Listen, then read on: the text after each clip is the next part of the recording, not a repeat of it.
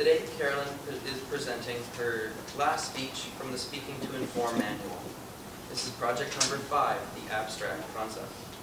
Carolyn grew up in Fredericton. Her dad was the head of sociology and anthropology at the University of New Brunswick. This is a story that originates with her academics that surrounded her as a teenager. Please welcome Carolyn, presenting a speech, Planoterrestrialists.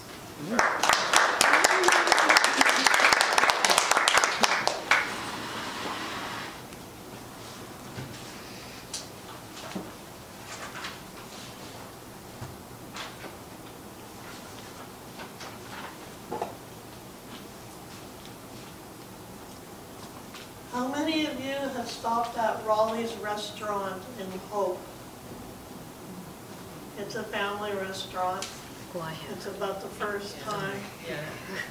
Yeah, it's about the first restaurant you hit when you're passing through Hope, going to like Kamloops. Uh, I've stopped there a couple of times, Good ice cream. but did you notice the little sign they had pasted to the wall? It said, Flat Earth Society meets here.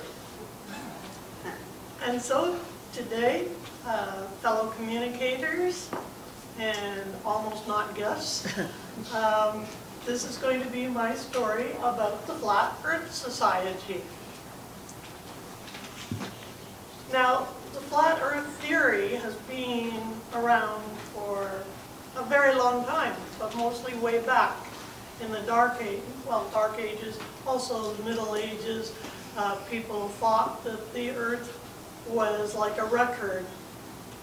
And uh, later groups postulated that Antarctica ran around the uh, circumference of this.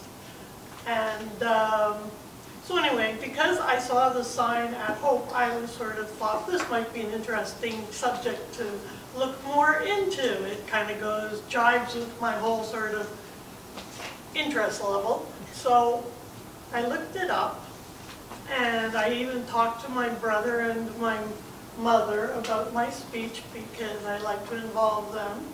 I said, Flat Earth Society. My brother said, yeah, I remember that.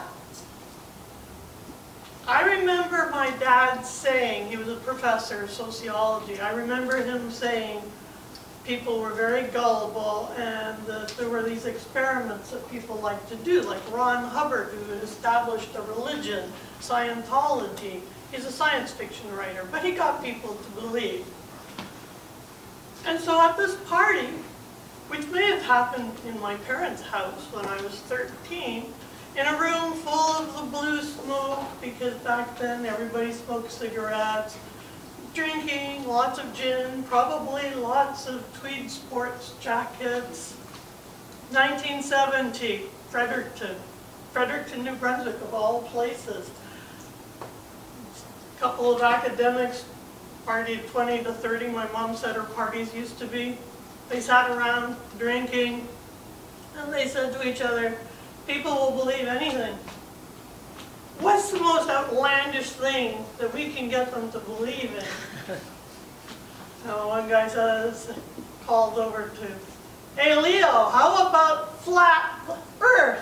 And Leo Ferrari said, yeah, yeah, that's a good one. Yeah, the earth is flat, yeah. Leo Ferrari was a professor at St. Thomas University and uh, that's on the big hill in Fredericton. There's St. Thomas, and then there's the University of New Brunswick. St. Thomas is a Catholic liberal arts college, and that's where Leo Ferrari taught philosophy. And some of these other guys, they were writers. There was Alden Nowlan from uh, Nova Scotia, who was a poet. And there was, my mom remembers him, oh, Liz brought him along a couple times, and he was a friend of theirs. And uh,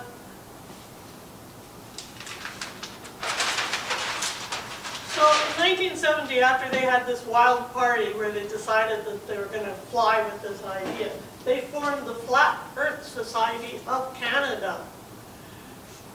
In 1973, they decided hey, we're starting to talk to Americans and other people, let's just call it the Flat Earth Society.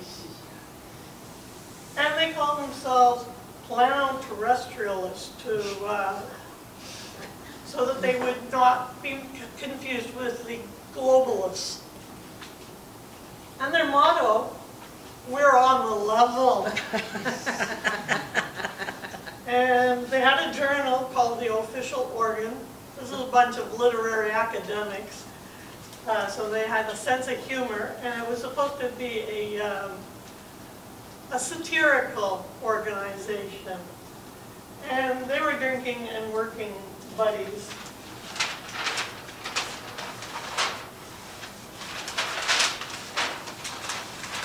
So for those of you who don't know where Fredericton, New Brunswick is, this is supposed to be a ran- ran- map. So we're way over, like way over here. But this is the eastern Canada, the Great Lakes. Toronto's over there. And right here is where Fredericton, New Brunswick is. And that is where this group met and uh, organized from. So they decided that Leo Ferrari, the philosopher, was going to be the president because he had the academic background, he had a PhD, and they thought that it looked good. He looked like an expert. And uh, Alden Nowlan, he was a Nova Scotia poet, and uh, he became um, the next biggest, and then Raymond uh, Fraser, he became the chair, and Alden Nowlan, he became the symposiarch, because he liked that grandiose sounding name, master of a public debate or discussion. And they met up at uh, Alden Nowlan's house on Windsor Street, and they dubbed that Windsor Castle. And then they uh, recruited Gwendolyn MacEwen as an executive vice president, and she was a poet out of Toronto. See, they started to expand it to the rest of Canada. And then uh, they, they got Farley Mowat, who wrote about nature. He joined their group. And then Lawrence Block, an American uh, mystery writer, he put in his preface in one book, The Earth is Flat, and they said, oh, we got Lyman! and they invited him, and he joined. And it became very difficult to uh, join this group because they wanted to make sure you were you understood that it was a joke. And uh, Al Pittman was in Newfoundland. He was the official rep at the edge of the earth. And then uh, the group disbanded in like 1985 because this had been uh, Leo Ferrari's kind of coping mechanism with his divorce to have something to pour his efforts into. And uh, the group in Hope, what they are is they drink coffee. And you have to be over 72 to join and semi-senile, or you have to be, uh, you could be younger, but with an IQ of less than 25.